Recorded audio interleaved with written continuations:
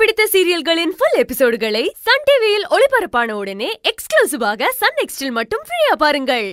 மாமா எல்லாருமே தாத்தா வர சந்தோஷத்துல இருக்கீங்க. ஆள் ஆளுக்கு இப்படி தோணுது அப்படி தோணுதுன்னு சொல்றீங்களே தவிர தாத்தாவோட ஃப்ரெண்டு சொல்லிட்டு போனார்ல அந்த விஷயத்த பத்தி மட்டும் பேசவே மாட்டீங்களே இந்த கோட்டை எப்ப அழிக்க போறீங்க? அத சொல்லுங்க. தரிகிடதும் தரிகிடதும் தரிகிடதும் தரிகிடதும் தரிகிடதும் தரிகிடதும் தரிகிடதும் தரிகிடதும் தரிகிடதும் தரிகிடதும் தரிகிடதும் மாமா தாத்தா வீட்டுக்கு வரும்போது அவரு இந்த கோட்டை பார்க்க கூடாது மாமா அவரோட ஃப்ரெண்டு சொன்ன மாதிரி அவரோட மனசு கஷ்டப்படும்ல பாண்டவர்களும் சீமாட்டிகளும் இப்படி தனித்தனியா இருக்கிறத அவரால பொறுத்துக்க முடியாது மாமா தாத்தாவை சமாதானப்படுத்துறதுக்காகவாவது இந்த கோட்டை அழிச்சுதான் மாமா ஆகணும்? தாத்தா வந்ததுக்கு அப்புறமா கோட்டை அழிச்சிக்கலாம். அது ஒன்றும் அவசரம் இல்லை. ஏய் எதுக்கு? எதுக்கு கோட்டை அழிக்கணும்? தேவையே கிடையாது.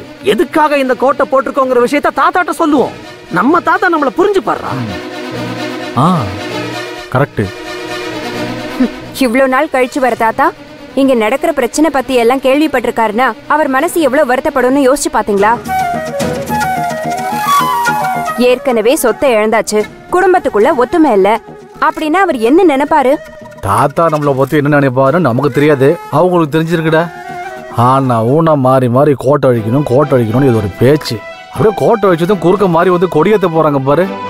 அதுவா முக்கியம்? இழந்த வீட்டை மீட்கணும். அதுதான் முக்கியம். அண்ணே நம்ம வீட்டு பத்திரம் அந்த வேதநாயகி கிட்ட இருக்குன்னு அதை நம்மளால எப்படிண்ணே வாங்க முடியும்?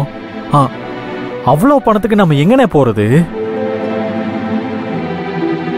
அண்ணா நம்ம எங்கேயாவது நாலு பேர்கிட்ட கடன் வாங்கியாவது அந்த பணத்தை சேர்த்து அந்த வீட்டை மீட்டுடலாண்ணே